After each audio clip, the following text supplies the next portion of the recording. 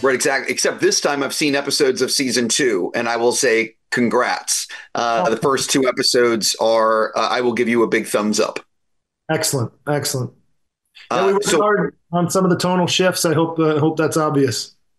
Yeah, the thing that I really took away from it is the Covenant just looks so much more badass Hmm. uh, this season in terms of like they just you're scared of them in a way you were not scared of in the first season.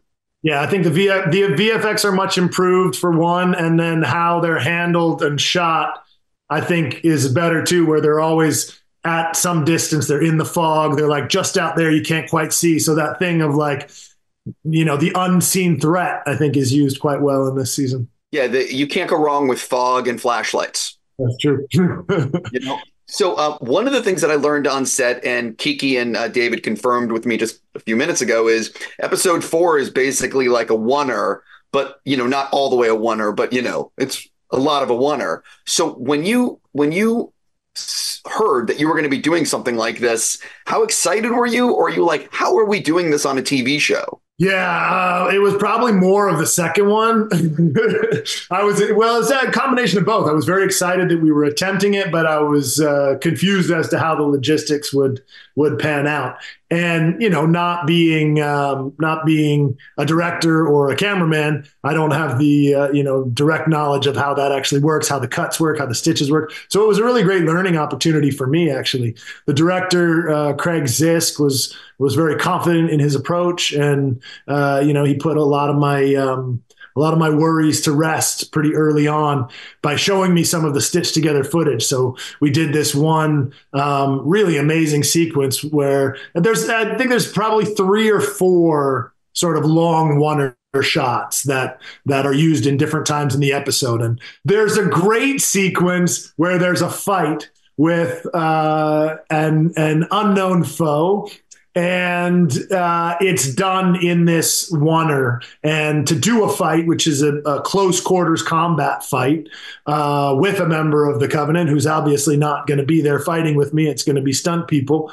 Um, we had to really use these stitches, the technology of the stitching the shots together well. And I was so impressed by how they were able to put the stitches together immediately. So we had one day of shooting where we did basically the whole sequence of this fight, and they were able to show me the whole fight basically by the end of the night.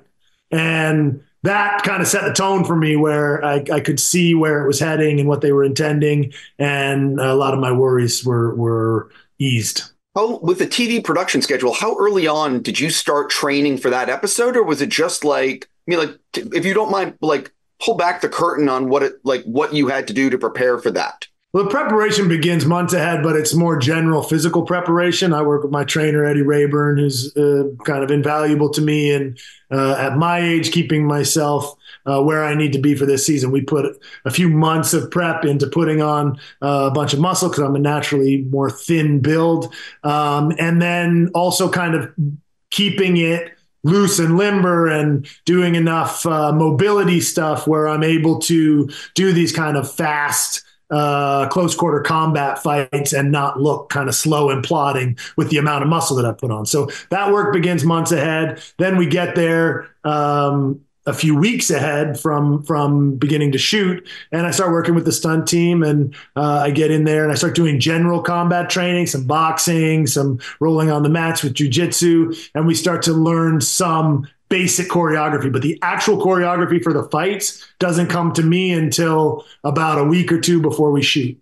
And then it's just like really hammering down, being in there every day, memorizing the choreography. That sequence I was talking about with the close quarters combat fight, we would shoot um, versions with the stunt uh, double who I was fighting. Uh, and then they'd pull him out, and we do the same little short sequence with me fighting the air. And those Right. were the takes that we ended up using was me fighting air. So then the visual effects go over that shot. Um, so it was a really technical process. But in order to be successful at uh, having those shots where I'm fighting the air, um, look good and and and be ready for the VFX to be entered into, I have to know that fight like the back of my hand. And it's hard when you only have like a week or two, you know. Uh, on a movie schedule, they get months for prepping for these kind of things, and uh, we, we we do them quite quickly. That's the reason why I can't wait to see uh, episode four and just to see what you guys, you know what I mean. It's it's yeah. very ambitious filmmaking. Yeah, it really is, and and and I can assure you, you know, if you liked one and two and felt the new direction that you'll love four four is uh, it's it's really a great episode, um, and it'll take a, an episode or two to kind of recover from that.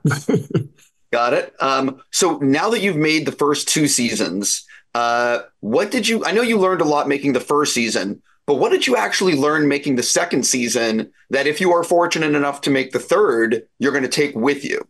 Uh, that material is key. Um, starting with a with a really good script is the most important thing. So I'll continue to press for that and to advocate for that. Um, there are a number of lessons kind of story wise that I took away that I, I won't go into because if we're fortunate enough to make future ones, the, that'll be a conversation between me and the people that make those kinds of decisions. And I wouldn't want to uh, involve you guys in that. I understand. Has Paramount or anybody involved at the studio level asked you to save any dates in 2024? No, no, but I am under contract until at least April, and so uh, we'll see. You know, you know what they decide before that. No, I, I completely understand. Um, one of the things, though, is you are away, and you've talked about it's a year of your life filming in, I believe, Budapest. Yeah. So, have you have you asked them at all? Hey, if we do get to do like a season three and four, is Vancouver an option, or do you think Budapest is like always the place? I haven't. I haven't. I try to. I try to stay out of those uh, larger scale uh, decisions as much as possible um, because I just don't know, you know, budget wise, what it takes to shoot in one place and what it takes to shoot in another. And I wouldn't even want to. It would just, uh, you know, short circuit my brain to have to think about those kind of logistics. Uh, sure. So leave it to somebody else. For me, you know, I made a commitment to this show uh, early on when I accepted it, and and I I do everything at uh, at 100. percent So until they tell me we're not making anymore, I'm ready to go wherever they want and do whatever is needed to make the best show possible. I like that attitude a lot. Uh, it does feel like after watching the first two episodes, the state of the galaxy in the world of Halo is coming undone by the Covenant things are dire for humanity. The humanity is on the ropes. Yeah, um, eh, the stakes are higher. You know, the the threat is more real. Uh, the enemy, as they say, is at the gate. And um, in th- through the first two episodes, there's a very real chance of risk, and and it only escalates in three, and by four, uh, you know, the threat is here, and it's has to be dealt with. When you think about the sequences and scenes you've done in the first two seasons, which which one do you think ended up being the backbreaker? The one that you're like, how are we doing this? I can't. You know what I mean? It's hard because so much uh, that that question covers so much kind of logistic stuff. So I would say in the first season, both the Madrigal battle that opens the season and sure. the battle in in episode five, where uh, the Covenant is attacks finally um, and comes to get the artifact.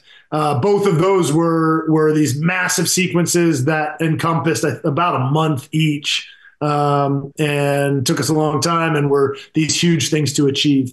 Um, we worked a lot more efficiently in the second season. So while I think the action feels bigger, it feels more immediate, it feels more intense, and it, it's because of the point of view that it's shot from. It's much more subjective. It's being it's putting you into the battle with the characters. And, but uh, in terms of shooting, we were far, far, far, far more efficient. Um, took a lot less time to shoot action uh, and shot it quickly, efficiently, and to to I think more spectacular effect. So um, in terms of backbreakers, the, the two the two sequences in the first season felt more right. like backbreakers than anything we did in the second season. The second season, uh, the the sequence that the, these oners we talked about in four, they felt like a big thing to bite off. Um, but immediately, once I saw how we were doing it, I was cl- it was clear to me they were going to be really effective. And um, and as I said, efficiency sort of uh, won the day. I just want to say thank you for your time. I really do hope it's a huge hit for you guys and you can make another season. Uh, thank you so much. Thanks. Appreciate it. Nice to see you.